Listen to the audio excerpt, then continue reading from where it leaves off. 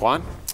So, uh, kind of wrapping up some of my observations about Dr. Rysewyk. I have been talking to somebody who worked with him when he was at Fulton when he did what was called the voluntary redesign. One of the things that she said really struck me was that he looks to empower people to sort of carry through the change. He is not somebody that wants to carry all that weight on his shoulders, which will be interesting to see if he can pull that off with now uh, a 60,000 student, 8,000 employee system. She said one thing I thought was interesting when he sees people doing small things well, he puts them in charge of big things. So maybe that will be kind of his leadership style that we see going forward. So, Don and Susan, what big things do you think will be some of the challenges that he faces right away? Susan, we'll start with you.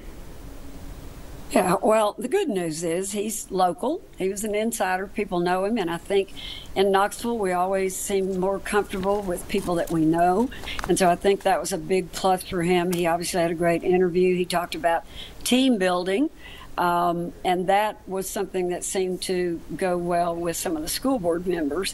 He also talked about having a already having a relationship with the mayors and with the UT leadership, which certainly can be helpful. Um, as, as, he talked about trying to, you, know, um, use some pro- integrate some programs with the university and and use them as well. Um, I think I think he's high energy. Um, I think he has been in the school system. He's taught school. And um, I, I, just think the students are really going to respond to him as well as the, the staff and the faculty. So um, I'm wishing him the best, and uh, I, I really feel good about his appointment. Don, your thoughts? Well, uh, the one thing I'll disagree with Susan on is uh, uh, your comment that he's an insider and that's good. And while I don't really care if someone's an insider or an outsider, I want to hire the best person, and he very well may be the best person.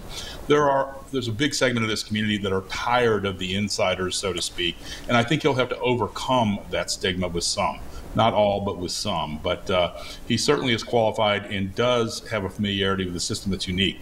This is the hardest time, in my opinion, to be a superintendent of a school system in Tennessee. We've got a legislature who's trying to legislate the curriculum by way of everything from LG, LGBTQ issues to critical race theory, which doesn't even exist, to what you can say, what you can do.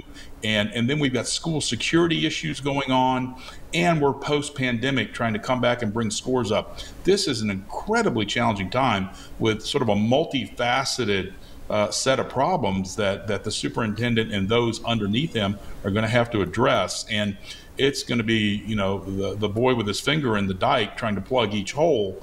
And, and it's going to be really challenging and really take some time. This is not a one year fix. This is a 10 year fix in my opinion. Don, only 30 seconds well, left. How significant was the move by County Commission to allow the Knox County School Board to hire outside counsel when it comes to the mask mandate? It would be foolish for the school board to hire outside counsel. They have competent people arguing it now from the county law department. Judge Ronnie Greer has put down a virtual bulletproof opinion. It the, the, the state AG can't do it. Sure as heck, outside counsel won't do it. Don Susan, as always, we appreciate the perspective. We hope you join us next week. We'll have the TBI director on Inside Tennessee, David Rausch, the former chief of Knoxville Police. Have a great weekend.